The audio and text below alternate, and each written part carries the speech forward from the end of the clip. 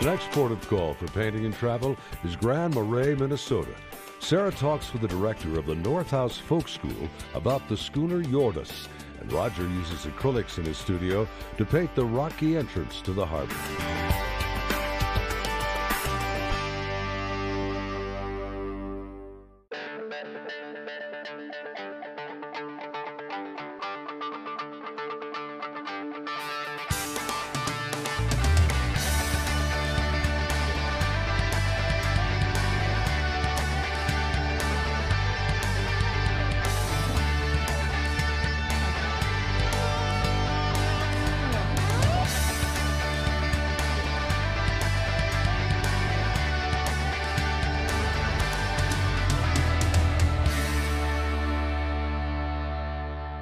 Welcome to northern Minnesota.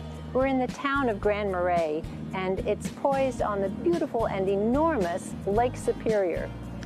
You can see right behind me, there's a 50-foot sloop called the Hjørdis, and Roger is going to do a painting of it.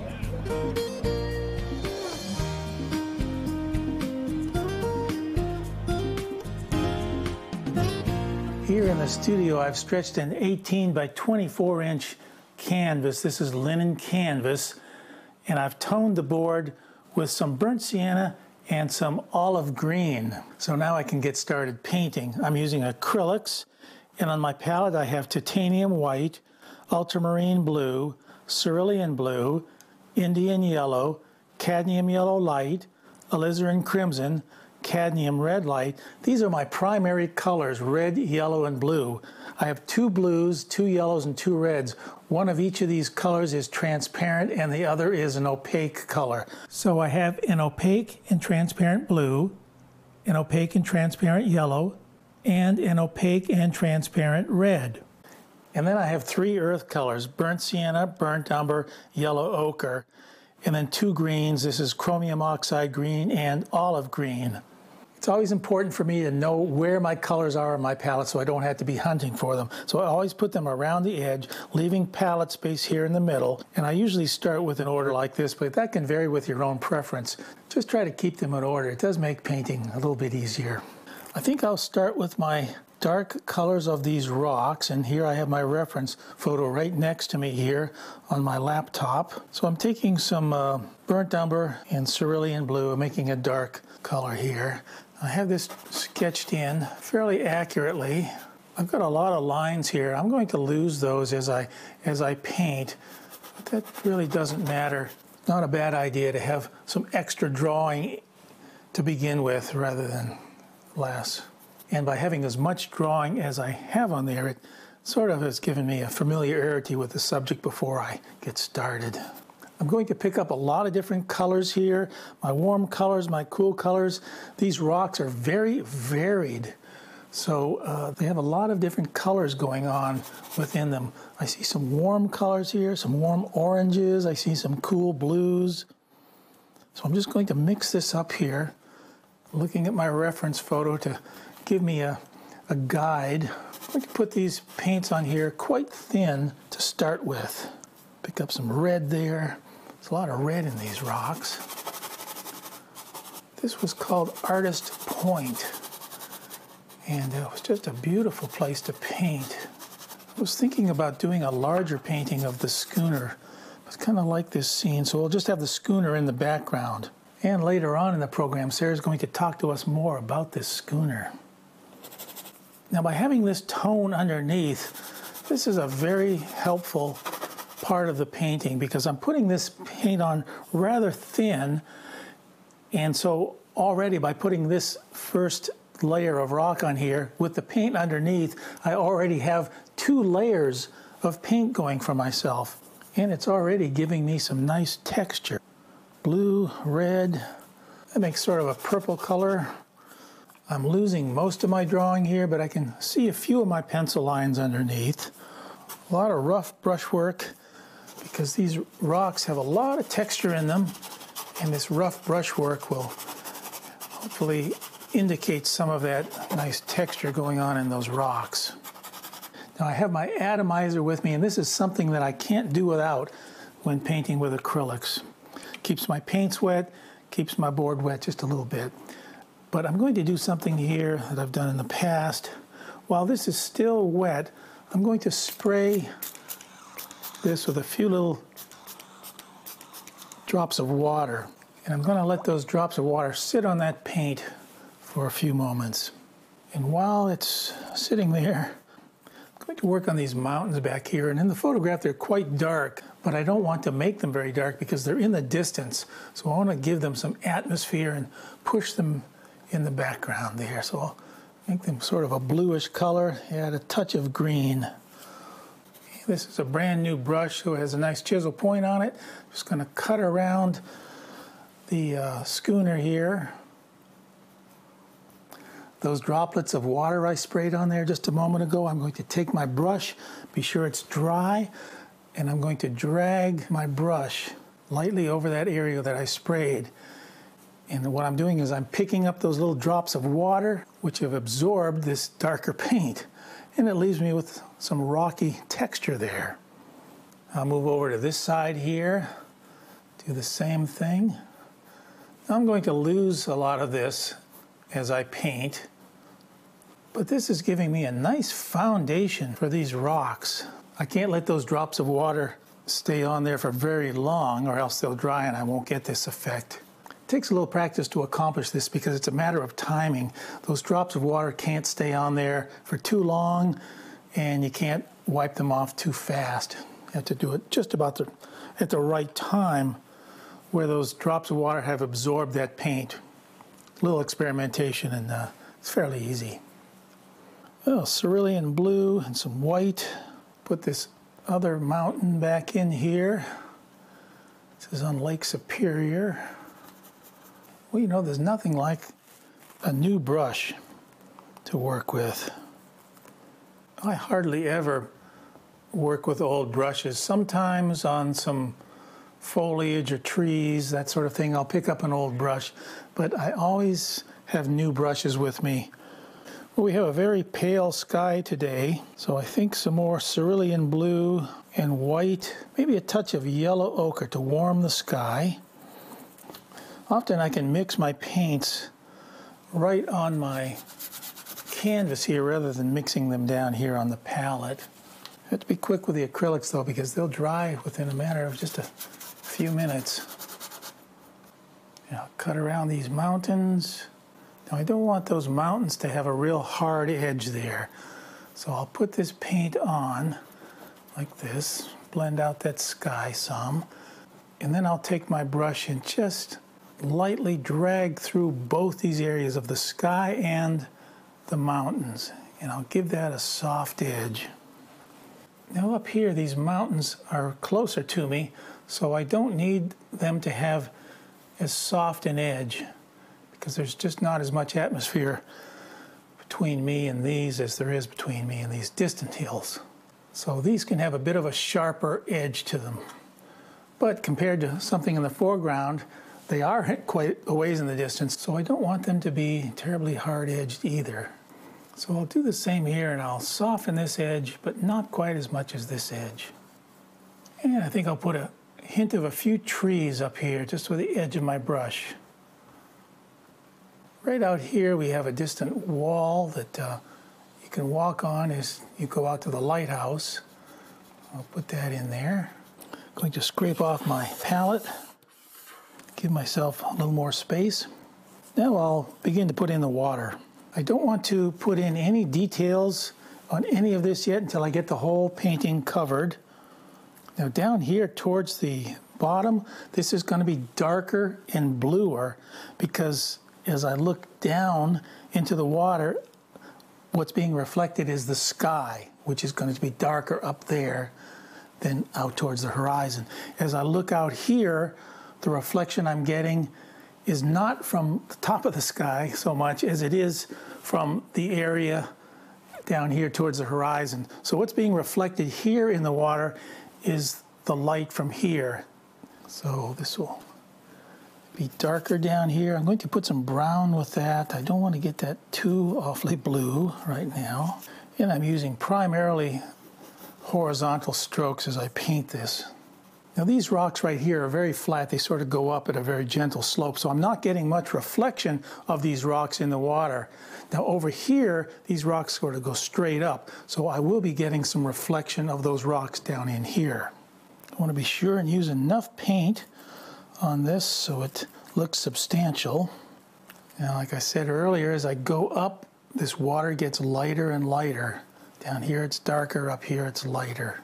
Now when we get out into the harbor here, there's a lot more action going on in the water because of the wind and so on. Back in here it's very calm. So we are going to get more texture up in this area than down in here. But right now I'm just going to paint this fairly flat and just keep it simple. That's one of the key points I try and remember when I'm painting is to keep it simple, especially at the very beginning of the painting. Okay, now for the reflection of this rock. Now here I'm using vertical strokes. I'm starting out with vertical strokes, but after I get some of these vertical strokes in, like this, I'm going to go over it with some horizontal strokes. And of course this reflection won't have all the texture that these rocks will have. Sort of just gets lost in the water there. Okay, I'm pulling these down as these vertical strokes. Okay, wash my brush out, wipe it off, and then I'm going to take and put pull some horizontal strokes right over this. I have to do this when it's still wet. So I think I'll block in this boat and this little patch of harbor we have back here. I am going to block in those sails and they're a burnt sienna color. I'm going to mix some cerulean blue with this burnt sienna. Putting that on there as straight burnt sienna is just too, too vivid, too bright. Now I have a number of close-up images of this schooner. I don't have to rely on this one distant photograph. I'll let that area dry and I'll have to go over it later on in the painting and refine it with more detail. Well, now it's time to add more detail in these rocks. I'm going to enlarge my reference photo so I can see into that a bit more and start with these very dark areas. This is really kind of a combination of some hard edges and soft edges, thin edges and thick edges. I have to be careful not to get this too busy. Keep some of these areas subtle because I want my main focus to be up here on the ship. So I want to kind of hold back on putting in too much detail down here in the foreground. I want some of it because it is an interesting area, but I don't want to overdo it. So I'm trying to be careful and cautious here as to how much of this dark areas and how much of this texture I actually apply. Right here is where it just drops straight down into the water. I'm using a bright here, and this is a new bright. So it's chisel, nice chisel point on it. So it holds a lot of paint. And I could do this with a thin pointed brush, but I would have to keep dipping in and picking up more paint all the time. This holds a lot of paint. I just use it on the edge, and I can just keep going with it for quite some time without having to reload my brush. And I can get thin lines and thick lines with it. So it serves a dual purpose. Now I've pretty much lost my pencil lines here describing these rocks, but I just keep referencing my photograph and uh, trying to pick up on the feeling of where some of these go. They don't have to be totally accurate as to what the photograph is, they just have to feel right. Well, now that I have my darks in place, I'm going to begin by putting some of the lighter areas on the rocks. And I'm going to be using some warm colors. I'll spray that again so this paint flows over this easily. And with a light touch, drag some of these warm tones down into the face of these rocks. Now on the top part of these rocks is where the light is going to be really hitting it, much harder than on the side. So I'll lighten that even more and we'll put some accents right here at the tops of these rocks. And right down here where these ledges sort of pop out and uh, light will be hitting that there as well. And here's this rock right in the foreground. And a few light patches to the top of that one. Now I'll move over to the left side. Do the same thing. Just working on this a little bit at a time, and I'm careful not to work on one area for very long without jumping to another area. Now these rocks here are much flatter, so they're catching more of the light than the side of these rocks. And I'm scumbling this paint over these areas because I want this other paint and texture to keep showing through. There may be passages here where I'll use very opaque, but I want to get quite a bit of texture in here and, and then again not overdo it. Right down here in the foreground, this will be quite intense right here as far as the light. Some of these rocks sort of make a sawtooth shape here. This was a gorgeous place to visit, gorgeous place to paint. Now I don't think I'm going to do very much down in this area. It's sort of out of the field of visual focus and I don't think much attention needs to be done down here. Maybe just a little bit to finish this off, but I don't want a lot of detail to go in all these areas equally. Some areas will have more detail, some will have less. If everything has detail in it, then it sort of loses its punch, loses its effect. So to have one area that has a lot of detail, it will bring interest to that area and focus to that area, and that's what I want. And that will be more or less up in this area here. This area down here is more subservient, not quite as important. Now there are some small pools of water in amongst these rocks. And that's quite lovely. So I'll mix up some of this light blue again with cerulean blue and white. Add a few of these little pools of water. I think I'll add one or two more that weren't actually in the photograph. Well, I'm going to let this dry for a few moments, and I think this is a good time to go visit Sarah, where she's going to learn more about this schooner. This is Greg Wright. He's the director of the North House Folk School, and he's also a sailor. And the 50-foot schooner behind him is the Hjørdis. What makes this a schooner? You know, a schooner is a sailboat with two masts or more, with the rear mast being as tall or taller than all the others. There's other details that are part of the sail plan, but that's the schooner Hjørdis has a taller back mast. She's also double gaff rigged, so the sails um, aren't a triangle. Instead, they're um, a four-sided sail, gorgeous maroon sails, green hull out on blue water. Uh, she's a joy to see out. And that color, how did that color come to be, the burgundy? The burgundy, you know, it's um, traditionally sails, um, so, some sails were white, but some are what were called tan bark. And so they were, they were actually, uh, my understanding is fabric that was tanned with a kind of bark stain.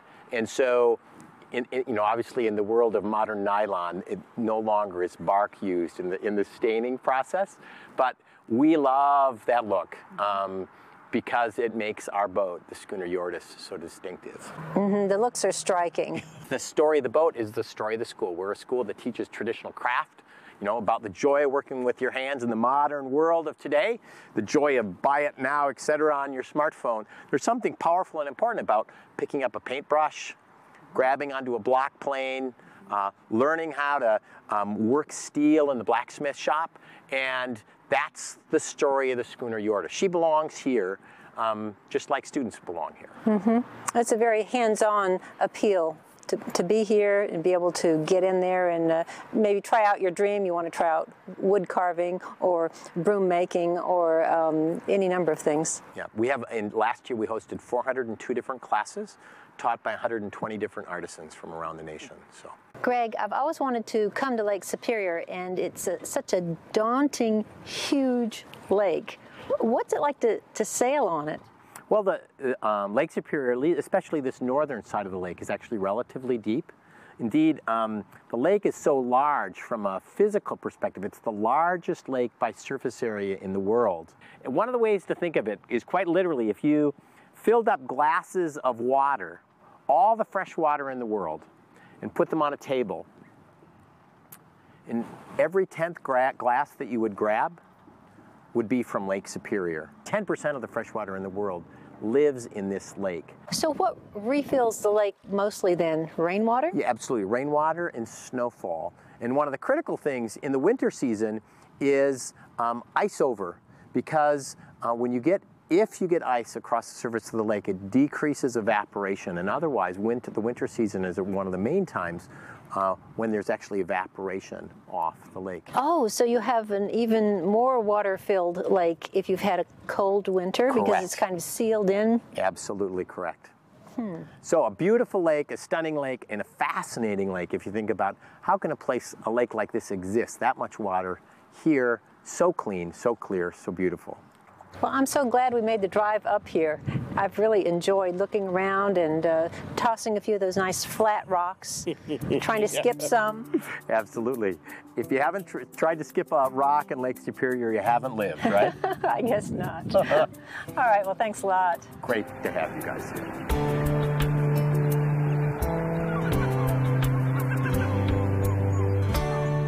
Well, I think this is a good time to work on some of the detail with the schooner and the lighthouse. I'm going over these sails once again with another coat. The first coat didn't cover very well, and often using acrylics, it does take more than one pass to get the paint to cover. I'll put some cerulean blue in here. Light from the sky will be blue, so it'll be bouncing off these sails, and of course, light from the water too will be a blue color. And with a very fine touch, here's the cabin. And I'll grab my ruler, mix up a warm color, and we'll put in these masts.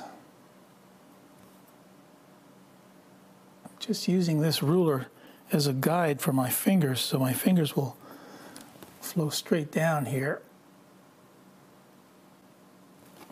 I'm not sure I need it, but I think I will put a hint of that rigging on there. There's the bowsprit.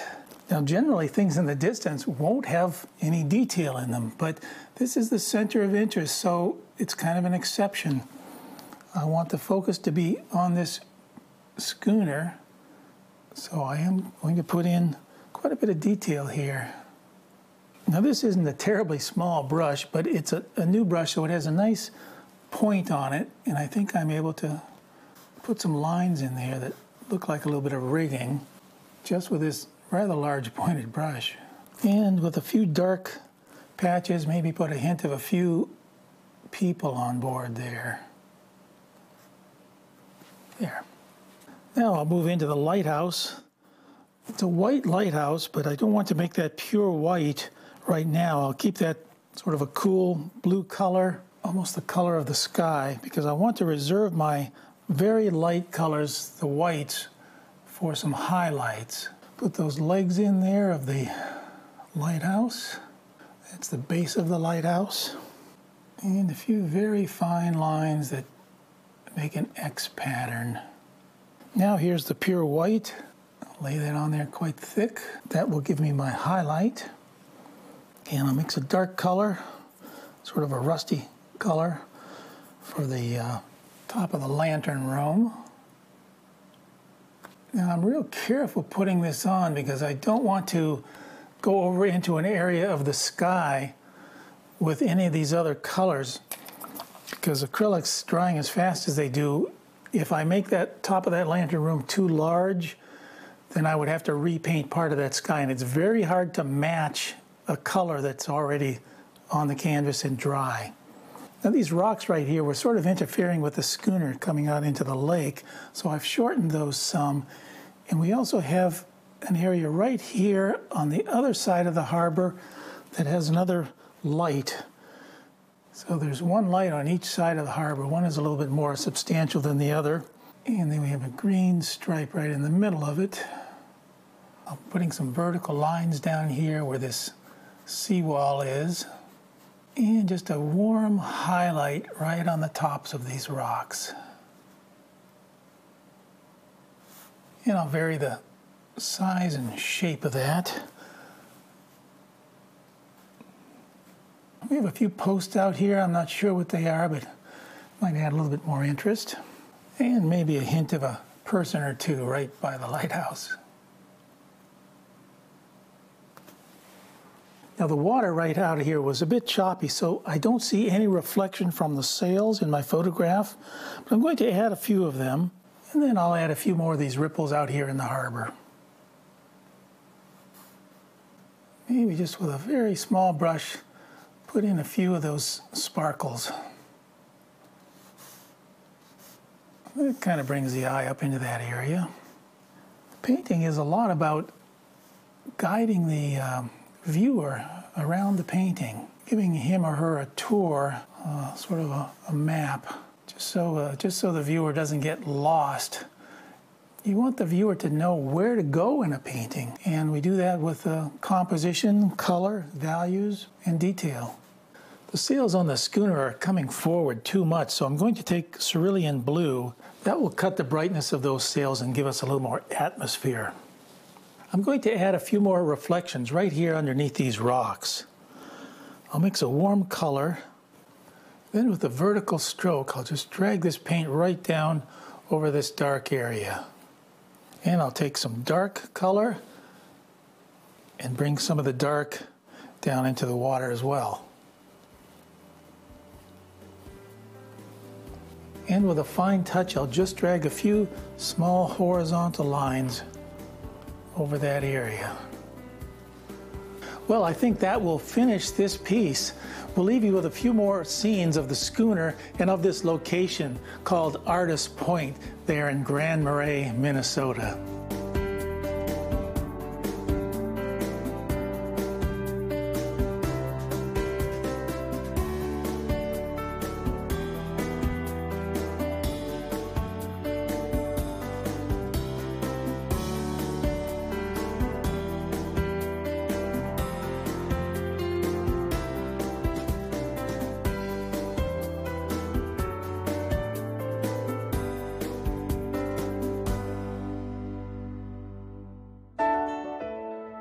Information about painting and travel with Roger and Sarah Bansemer, visit paintingandtravel.com.